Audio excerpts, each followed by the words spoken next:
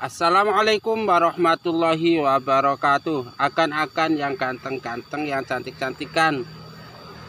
Mari kita sama-sama melihat Sebuah nanas merah ya kan? Nih.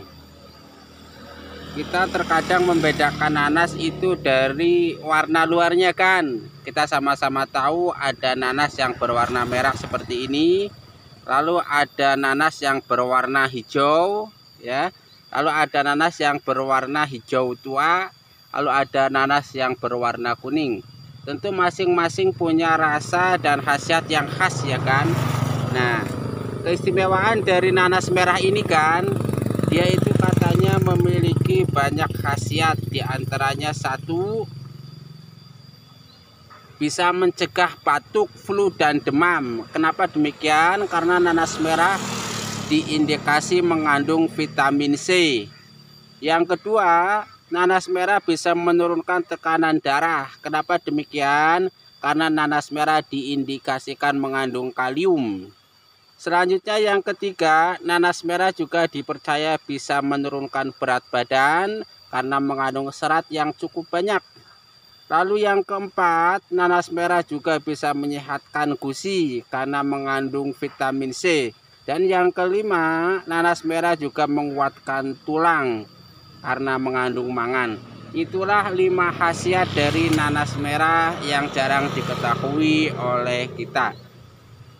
Nah, selain mengandung khasiat kan, nanas merah konon katanya ini juga nggak boleh dimakan oleh orang-orang yang sedang hamil. Kenapa? Karena dikhawatirkan bisa menggugurkan kandungan ya kan ini termasuk unik nih kan nih. Keunikannya ini ya itu ininya unik ya jarang-jarang yang gini kayak gini kan. Yang kedua ini ada anaknya tuh ya. Ya jadi kalau agan-agan punya istri punya anak perempuan tetangga bibi dan lain-lain sedang hamil sebaiknya jangan min jangan makan nanas merah ini dulu ya. Kenapa? Karena dikhawatirkan akan menggugurkan kandungan ya itulah beberapa khasiat tersembunyi dari nanas merah yang unik ya. Saya akan nikmati keunikan